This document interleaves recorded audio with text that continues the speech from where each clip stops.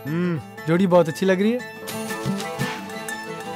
मेहमान है मेरे किस्म की नहीं है। तू यहाँ अकेले घूमने आया है या सारा को घुमाने? इधर देखो तुमने ना दीदी को घुमाना नहीं है क्योंकि दीदी को मैं घुमाऊँगा तुमने सिर्फ़ पढ़ाई करनी है।